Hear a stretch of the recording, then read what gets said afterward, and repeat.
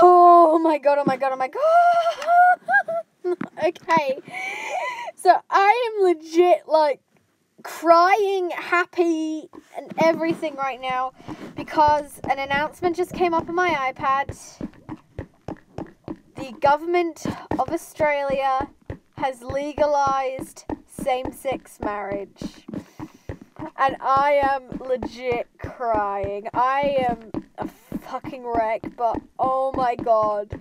I've been waiting for this for ages since they like announced that it was going back into court to have a debate about. I have been a really strong supporter of it and hello bad. Sorry to get distracted but must continue.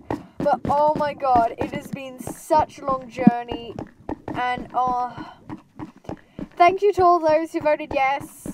Thank you to all the support and oh my god, I am so looking so forward to the future to see what ha- this has in store for Australia. Now, some quick information I found on the news.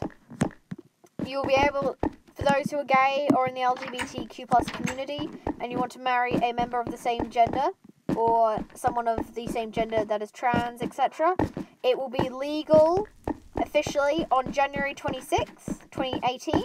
Oh my god, that feels so weird to say. Uh, or no, was it 26th of December? Well, one of the two. And that means people that are very close. That means a couple of my friends.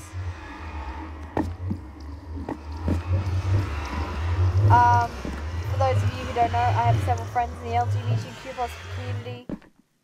This nether portal isn't working. But um, yeah, that means on January. Come on. That means in January you'll be able to get married to whoever you love. Love is equal. Love is for everyone. If you're a homophobe, get the fuck out of here. Because I am so happy right now. This is like the greatest day ever. Thank you all so you all so much.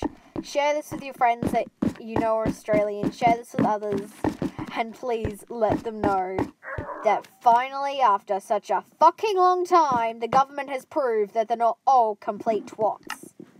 Thank you all so much, and so much. Just oh, you're all amazing. And till next time, guys. Glitch out.